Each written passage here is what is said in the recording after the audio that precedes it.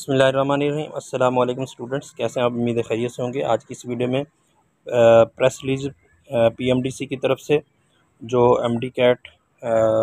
پر test ہونا ہے اگست ستائیس اگست دو ہزار تیئیس کو اس کے بارے میں سیکنڈ کونسل میٹنگ یہ ہیلڈ ہوئی ہے اور اس میں مزید ہم نے دیکھنا ہے کہ کب یہ ٹیسٹ ہوگا اور اس کا موڈ موڈریٹ کیا ہوگا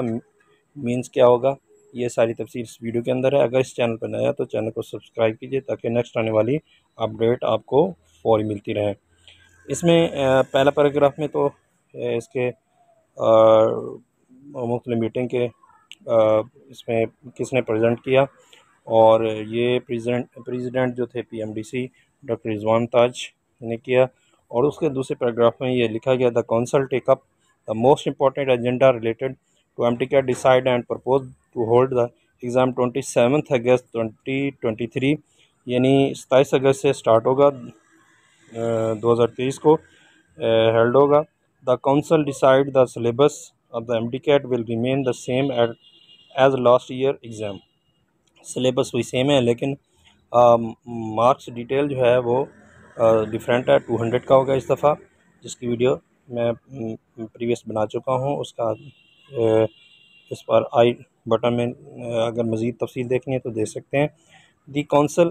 directed all provincial secretariat to start preparing for the set exam decision was made keeping in view a large interest of the students last year almost two lakhs four hundred four thousand two hundred fifty nine students exam according to estimates this year two lakh ten thousand students are likely to appear in exams making the system more transparent and merit based public sector medical university from all four provinces and I C T ریمے again test exam as per the provincial curriculum کہنے کا یہ مقصد ہے کہ اس لاکھ جو expect کیا جا رہا ہے دو لاکھ دس ہزار سے اپروکسیمیٹلی ہوں گے ایگزام اسٹوڈنٹ دیں گے اور Council emphasized that